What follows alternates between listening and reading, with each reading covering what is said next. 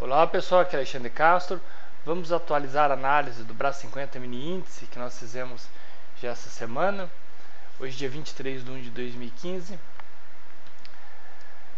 a última análise, nós falamos de uma probabilidade após esse quendo de força, o rompimento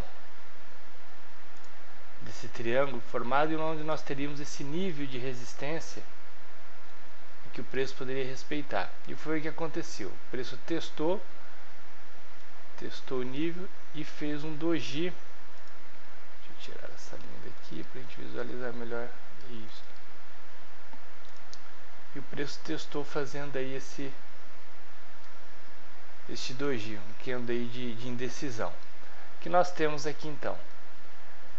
A expectativa em consequência desse candle, esse Marubuza aí de de alta seria um movimento altista buscando aí as retrações de fibro, pelo menos aí 61. É, mas teríamos aí primeiro que vencer é os 38, essa região dos 38.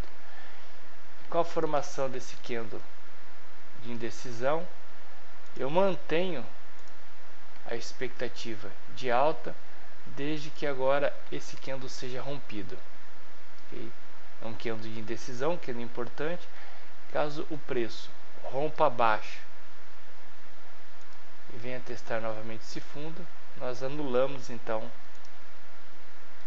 essa expectativa. Mas o rompimento acima